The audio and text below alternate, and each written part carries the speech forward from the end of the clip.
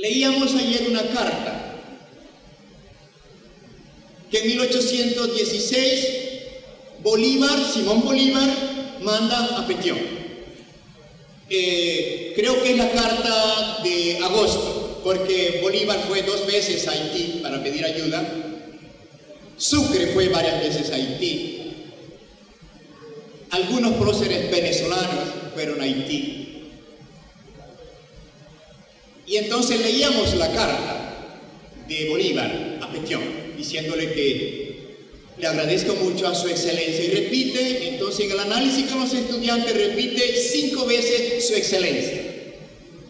Y dice, rendido a sus pies, agradezco la ayuda que... Ya nadie cuestiona esto. Pero hace unos años atrás, cuando trabajábamos este documento, la gente decía, Juan, ¿cómo es posible que un personaje como Bolívar le diga rendido a sus pies de su excelencia a un negro presidente, por muy presidente que sea de Haití. Porque Petión es el único de los próceres de la patria haitiana que no era descendiente o ex esclavo, como se diría ahora. Petión era el único que era hijo de un blanco y una negra y por lo tanto nació en condición de, liberto.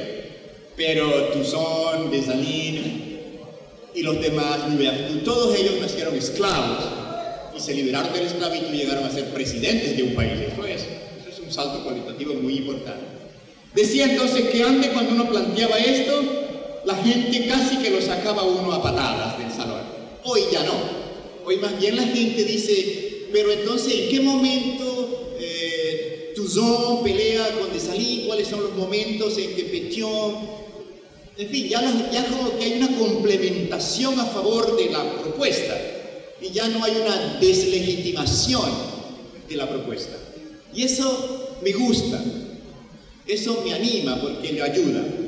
Entonces, cuando uno trabaja los temas de los diálogos interculturales, uno ya no necesita recurrir a la, a la afirmación militante de la propuesta sino que uno lanza la propuesta, la propone, la lleva a la mesa y el colectivo informado, ilustrado, como yo prefiero llamar ahora, le ayuda a uno a aclarar, le ayuda a entender. Para mí, esos son los caminos de los famosos diálogos interculturales que todavía no terminan de iniciarse en este país.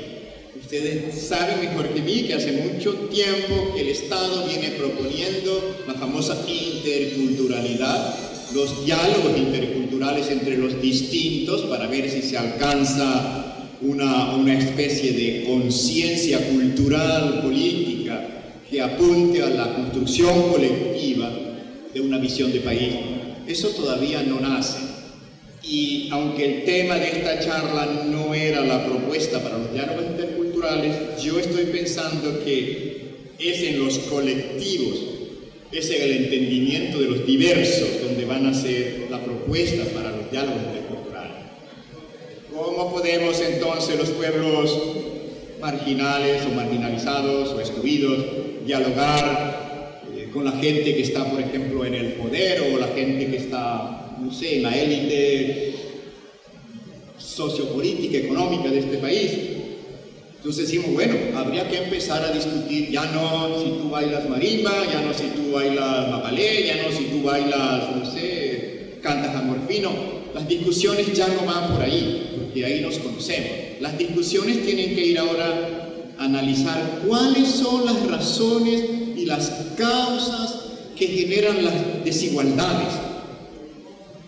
¿Cuáles son los remedios que habría que poner para que todas esas inequidades se acomoden y como que alcancemos como, como una igualdad. Lo que se está alcanzando en términos de lo que decía antes, la cabeza, el entendido, el saber, la socialización del saber.